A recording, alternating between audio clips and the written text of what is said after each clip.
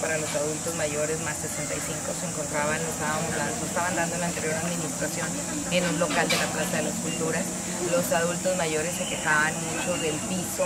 de, ahí de la Plaza de las Culturas, que ellos este, batallaban mucho para caminar, que les quedaba muy lejos, que tenían que pagar mucho este transporte. Entonces fue como decidimos moverlo aquí al DIF para que ellos también, aparte de, que vinieran por obviamente por su pensión, pues que también tuvieran acceso a los otros programas que hay aquí dentro del DIF municipal, como lo estamos viendo ahorita, que veíamos de la brigada oftalmológica, de la detección de cataratas, del servicio del médico, del servicio también de la brigada del dentista, que ellos pueden no solamente venir a, recibir esta beca, sino también aprovechar los otros servicios médicos o los otros servicios que hay aquí en el,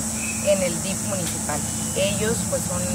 definitivamente son la luz, son la guía de todos nosotros, a, ellos hay que aprenderles, hay que saberlos escuchar de la experiencia que ellos tienen para que nosotros pues no cometamos a lo mejor los errores y al contrario, y que seamos mejores personas gracias a la experiencia que ellos han tenido. Y que bueno, pues que realmente este, nosotros estemos conscientes de que ojalá que Dios nos permita llegar a esta edad tan maravillosa con la que ellos tienen